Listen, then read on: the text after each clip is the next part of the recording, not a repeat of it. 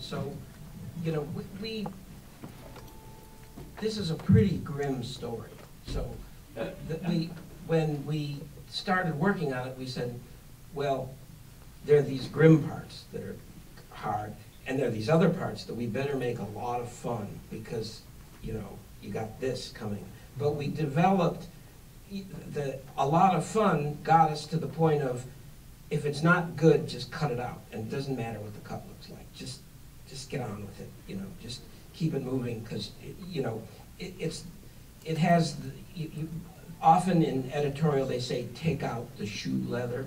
In this movie, the whole movie shoe leather, you know, so, um, we, we kind of developed a, a kind of a distressed style of editing, where you just, if it wasn't interesting, or you had to get from here to there, somehow you just do it with the scissors. And so when you got to this, it just became an extension of that, you know, it just, you, you, you know, you've left any other person behind, so you have to uh, absolutely be in his head. So any regard for space and time really doesn't have any, any bearing on it. So it's, it's all as if you were experiencing it.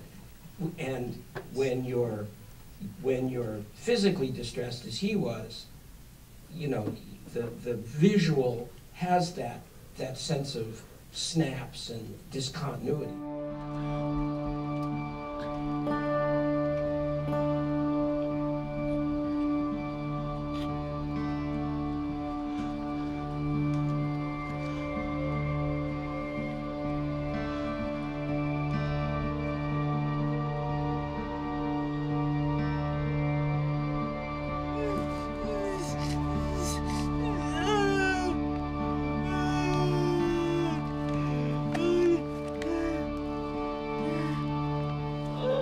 A very structured story to tell that he eats these things with the best of intentions, everything by its right name, but he gets the wrong one.